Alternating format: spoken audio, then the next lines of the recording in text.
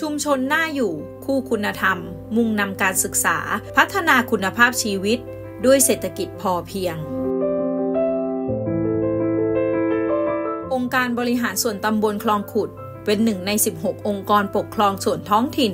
ของอำเภอบ้านโพ จังหวัดฉะเชิงเซาจัดตั้งเป็นองค์การบริหารส่วนตำบล เมื่อวันที่ 23 กุมภาพันธ์ พุทธศักราช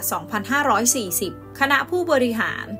นายนิมิตอยู่เจริญ นายกองค์การบริหารส่วนตำบลคลองขุด นายสริดเหลืองเจริญพร รองนายกองค์การบริหารส่วนตำบลคลองขุด นายขจร บุญหลำรองนายกองค์การบริหารส่วนตำบลคลองขุด นายพงเทพพัดทอง เลขานุการนายกองค์การบริหารส่วนตำบลคลองขุด สมาชิกสภาองค์การบริหารส่วนตำบลคลองขุดมีทั้งหมด 6 คน จาก 4 หมู่บ้าน โดยมีนางเกษรเงินรัตประธานสภาองค์การบริหารส่วนตำบลคลองขุด นายเสกสรรโพทอง รองประธานสภาองค์การบริหารส่วนตำบลคลองขุด นายดาวรุ่ง พุทธรักษา เลขานุการสภาองค์การบริหารส่วนตำบลคลองขุด หัวหน้าส่วนราชการ นางสาวเกตแก้ว หมื่นวง ผู้อำนวยการกองคลัง รักษาราชการแทนปลัด องค์การบริหารส่วนตำบลคลองขุด นายสมโชค คงศรีหัวหน้าสำนักปลัด นายก่อเกียรติ กลับน้อย ผู้อำนวยการกองช่าง องค์การบริหารส่วนตำบลคลองขุดตั้งอยู่ทางทิศตะวันออกเฉียงเหนือของอำเภอบ้านโพ ห่างจากอำเภอบ้านโพประมาณ 8 กิโลเมตร ห่างจากจังหวัดฉะเชิงเซาประมาณ 17 กิโลเมตร มีพื้นที่ 1037.5 ไร่ หรือประมาณ 16.06 ตารางกิโลเมตร มีอาณาเขตติดต่อกับพื้นที่ต่างๆ ดังนี้ ทิศเหนือ ติดต่อกับตำบลเสม็ดใต้อำเภอบางคล้า ทิศใต้ ติดต่อกับตำบล 11ศอกและตำบลแหลมประดู่ทิศตะวันออก ติดต่อกับตำบลแหลมประดู่ทิศตะวันตก ติดต่อกับตำบล 11ศอกและตำบลดอนทราย องค์การบริหารส่วนตำบลคลองขุดแบ่งเขตการปกครองเป็น 4 หมู่บ้าน ประชากรจำนวน 2,285 คน 739 ครัวเรือน หมู่ที่ 1 บ้านวังอู่จำนวน 163 ครัวเรือน หมู่ที่ 2 บ้านไผ่แถวจำนวน 205 ครัวเรือน หมู่ที่ 3 บ้านชวดสนามเถื่อนจำนวน 191 ครัวเรือน หมู่ที่ 4 บ้านราดบัวจำนวน 180 ครัวเรือนมีโรงพยาบาลส่งเสริมสุขภาพตำบลคลองขุด โรงเรียนวัดพนมพนาวาสมิตรภาพที่ 74 และศูนย์พัฒนาเด็กเล็ก โรงเรียนวัดราชสัทธาธรรม และศูนย์พัฒนาเด็กเล็ก โรงเรียนวัดลาดบัว และศูนย์พัฒนาเด็กเล็ก โรงเรียนผู้สูงอายุ องค์การบริหารส่วนตำบลคลองขุด ตำบลคลองขุดมีสถานที่สำคัญทางพุทธศาสนาดังนี้ วัดพนมพนาวาส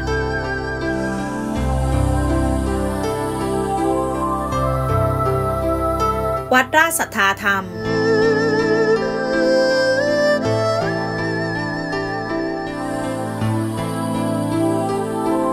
วัดราชบัว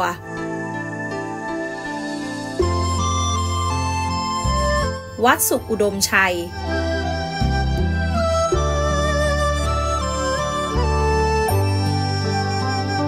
สำนักแม่ชีไทยพัฒนาจิตเฉลิมพระเกียรติฉะเชิงเซา สถานปฏิบัติธรรมสามหลวงพ่อ หลวงปู่ทวดบุรพา ประกอบอาชีพ ประชากรส่วนใหญ่ขององค์การบริหารส่วนตำบลคลองขุด ประกอบอาชีพด้านการประมง ได้แก่ การเลี้ยงกุ้งกล้ามกราม เลี้ยงกุ้งขาว และเลี้ยงปลาลองลงมาด้านเกษตรกรรม ได้แก่การทำนา ด้านการปศุสัตว์ ได้แก่การเลี้ยงสัตว์บริโภคในครัวเรือน และจำหน่าย เช่นการเลี้ยงกบ ไก่ เป็ด และโค องค์การบริหารส่วนตำบลคลองขุด มีลักษณะภูมิประเทศโดยทั่วไปเป็นพื้นที่ราบลุ่ม มีคลองน้ำสำคัญไหลผ่านหลายสาย ได้แก่ คลองบางไผ่ไหลผ่านพื้นที่หมู่บ้านชั่วสนามเถื่อน ถึงบ้านไผ่แถว ตั้งแต่หมู่ที่ 1 ถึงหมู่ที่ 4 คลองสวยน้ำใสและคลองชวดวังอู่ไหลผ่านพื้นที่หมู่บ้านวังอู่ หมู่ที่ 1 คลองตาอู่ไหลผ่านพื้นที่บ้านไผ่แถว หมู่ที่ 2 คลองชั่วสนามเถื่อน ไหลผ่านพื้นที่หมู่บ้านชั่วสนามเถื่อน หมู่ที่ 3 คลองชั่วตาสามไหลผ่านพื้นที่บ้านลาดบัว หมู่ที่ 4กิจกรรมการพัฒนาด้านโครงสร้างพื้นฐาน โครงการและกิจกรรมต่างๆ ภายใต้การดำเนินงาน นายนิมิต อยู่เจริญ นายกองค์การบริหารส่วนตำบลคลองขุด โครงการก่อสร้าง ปรับปรุง บำรุงรักษา ระบบสาธารณูปโภค สาธารณูปการต่างๆ งานป้องกันและบรรเทาสาธารณภัย โครงการคัดกรองสุขภาพเคลื่อนที่โโครงการรณรงค์ป้องกันโรคไข้เลือดออก กิจกรรมพัฒนาผู้เรียนระดับปฐมวัย ศูนย์พัฒนาเด็กเล็กองค์การบริหารส่วนตำบลคลองขุด โครงการโรงเรียนผู้สูงอายุตำบลคลองขุดรุ่นที่ 2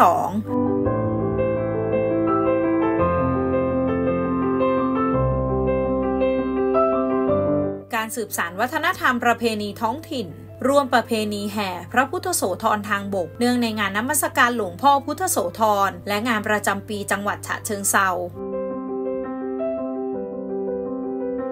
ประเพณีแห่องค์หลวงพ่อพุทธโสธรจำลอง และพระครูสัทธาพิรม อินทสโร หรือหลวงพ่อชื้น อดีตเจ้าอาวาสวัดราชสัทธาธรรม โดยจัดขึ้นทุกปี